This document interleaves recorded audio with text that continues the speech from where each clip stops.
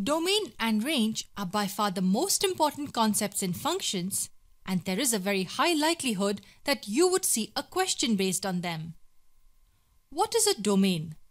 In simple words, the domain of a function is a set of all possible input values.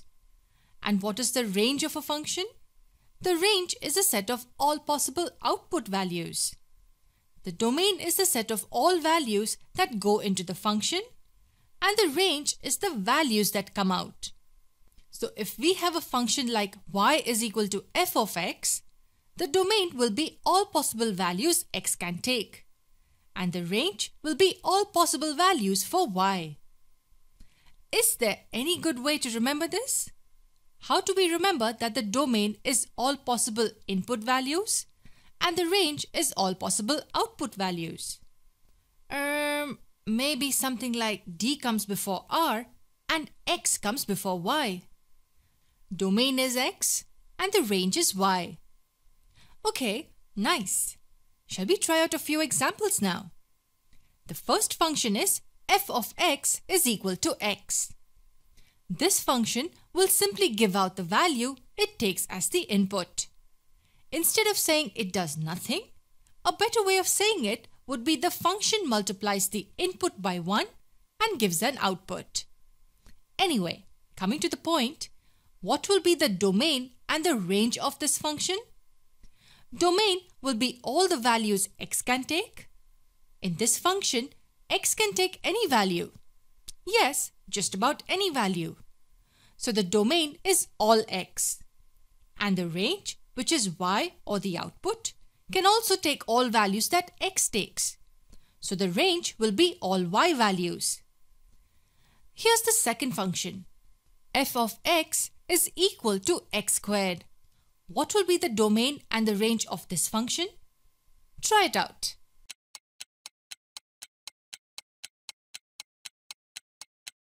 The input x can take any value.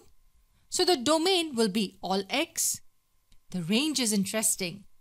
Will it be all y? It will be all y greater than or equal to 0. Why? Because the square of any number cannot be negative. It will always be non-negative. To give you some good news, there are two main constraints that are very common in the exams. Look at this function. f of x is 1 over x minus 2. What is the domain of this function?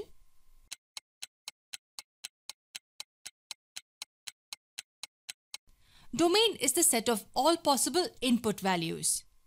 Can x take any value here? Yes, all but one value. The domain will be all x except x equal to 2.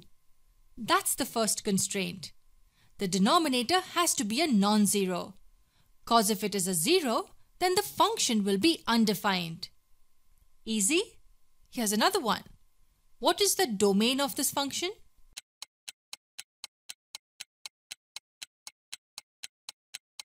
Can we have a negative number within the square root? Well, I don't think we can. So, x minus 3 will be greater than or equal to 0. This means x has to be greater or equal to 3. x can take any value which is greater or equal to 3. That brings us to the second constraint. Even roots can have only non-negative numbers under them. Remember this well. The denominator has to be a non-zero and even roots cannot have a negative number under them. Now for the last problem of this session, find the range of this function.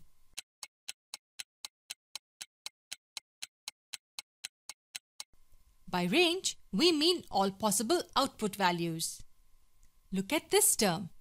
Can it be negative? No. The square of any number will be greater than or equal to 0. So the minimum value of the function will be 0 plus 1 which equals 1. f of x will be greater than or equal to 1 as x squared will be greater than or equal to 0. So that was all about domain and range. But the most interesting concepts related to functions are to do with their graphs. We will see those in the next few sessions.